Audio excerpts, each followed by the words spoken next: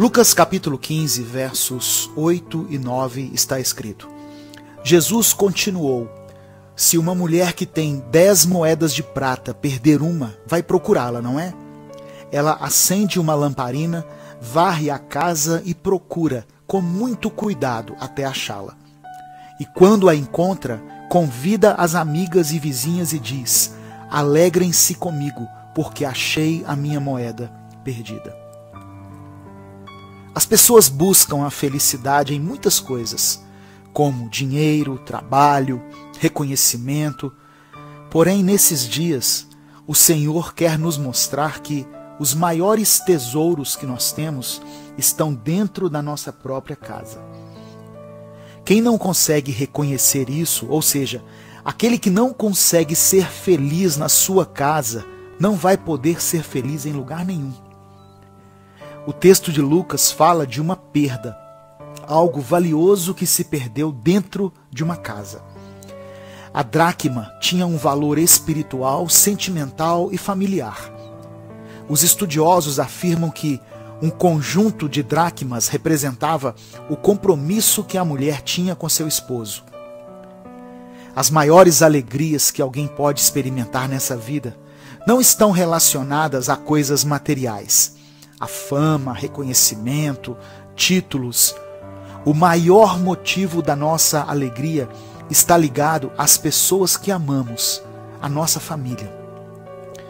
E foi preciso que Deus nos trouxesse de volta aos nossos lares, para que nós recuperássemos o que se perdeu dentro da nossa casa. Hoje é tempo de pedir ao Espírito Santo que te mostre que foi perdido na sua família e que precisa ser recuperado. Qual tesouro você precisa reencontrar? Talvez a comunhão e o diálogo com a família, ou o carinho e um tempo de qualidade com seus filhos, a vida devocional, oração, leitura da palavra, o prazer de estar à mesa junto com a sua família, enfim, é preciso identificar qual o tesouro você perdeu e começar a buscar por ele até encontrar. Sua família é um presente dado por Deus e ele quer restaurar os princípios espirituais na sua vida. Eu quero orar por você. Senhor, abra os nossos olhos espirituais para que possamos aprender a valorizar o tesouro que temos dentro da nossa família.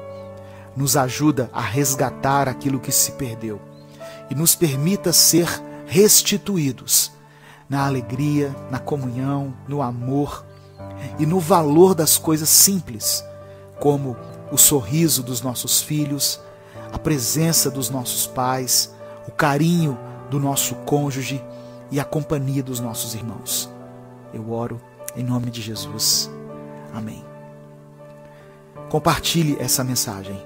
Ela pode transformar a vida de alguém. Siga Minuto com Deus nas redes sociais: Instagram, Facebook, YouTube. Deus te abençoe.